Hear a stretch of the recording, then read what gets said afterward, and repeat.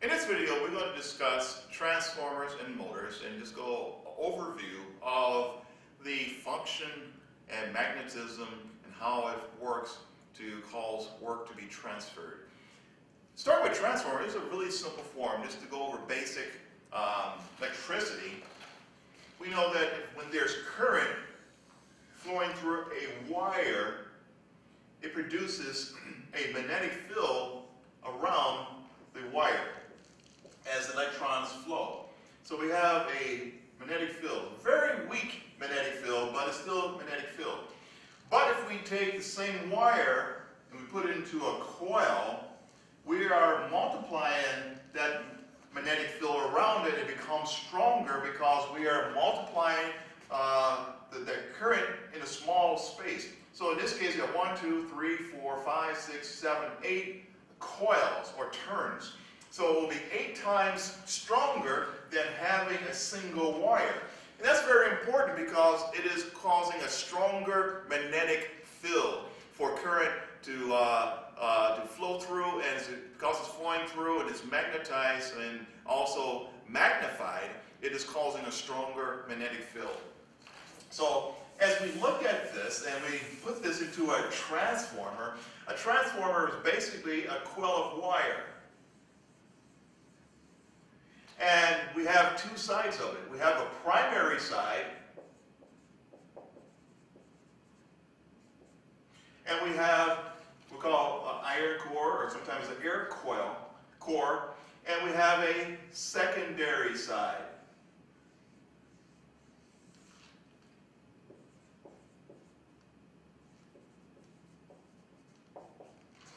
Primary side, secondary side. The primary side is where the power is actually introduced. The line voltage is introduced into the primary side to cause a magnetic field to be created and it will be induced into the secondary side.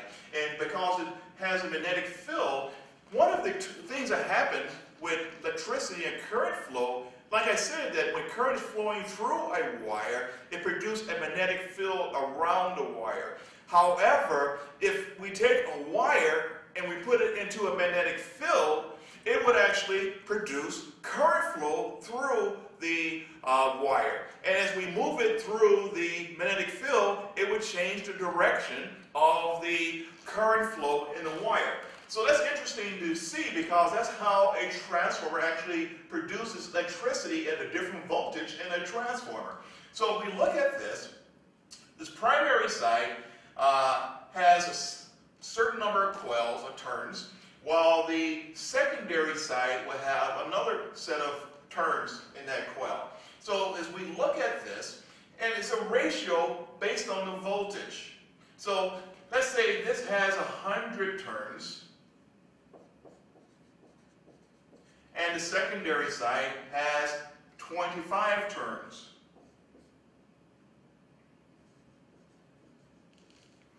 So it would be a ratio between 1 to 4, a 1 to 4 ratio.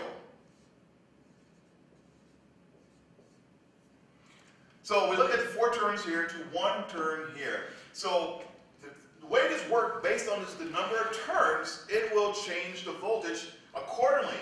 And so if we look at this, if we have 100 volts coming in on the primary side, and there's a, uh, a 4 to 1 ratio, this will have 25 volts on the secondary side.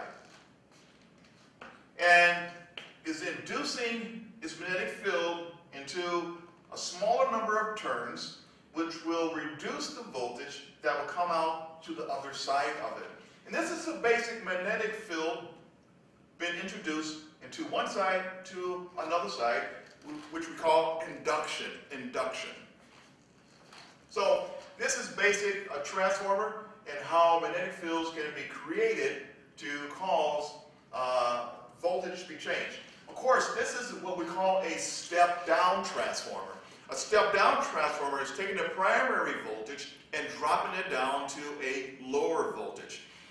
Another type of transformer we may find what we call step-up transformer will take the line voltage and actually increase it. And applications where you find step-up transformers is like power companies. They have generators and they will produce voltage and they will increase the voltage to very high voltage, like 20,000 volts. And they increase it high so they could transmit it through high power lines to send it long distance with very little losses. And when they get into the towns and the cities, they will reduce the voltage back down through transformers again, which will be a step-down transformer. So a step-down transformer, like I say, taking higher voltage and dropping it down to a lower voltage, and an HVAC field, we use a step-down transformer as control voltage to lower the voltage down for thermostats and other type of controls to make it safer to handle. So it would be a, a safety issue with high voltage and having shocks or electrocutions because of the low voltage. So this is how we look at uh, magnetism and changing the voltage in the systems. The same concept works for motors also. I'm going to make a diagram of a basic diagram of a electrical motor. This has two sets of windings. We have a common coming in, a common tie point, which is joining the uh, two windings together, the two coils, we're called windings, the motor windings. It has a run winding, and it has a start winding. And these two windings are designed to have uh, current flowing through it to turn a rotor. Rotor is the part of the motor that actually turns. And what happens is that these two different windings. The start winding has more turns through it, which give it a very strong magnetic field to induce it into the rotor and it will cause the rotor to start turning. However, the start winding, because it's so many turns and very small wires, it pulls extremely high amperage during startup, and it cannot stay in the circuit. If it stayed in, it will end up uh, damaging or burning up the motor.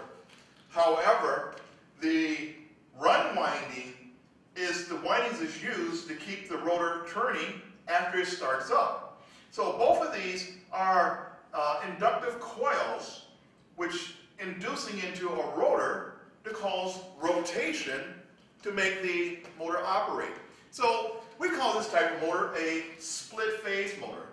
A split phase motor is designed to have two sets of windings, one for starting and one for running.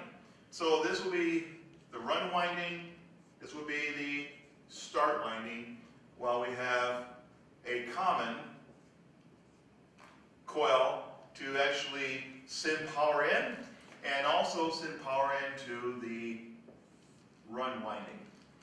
Power, we use a switch, some type of switch, to energize the start winding and will open up during the startup of the motor.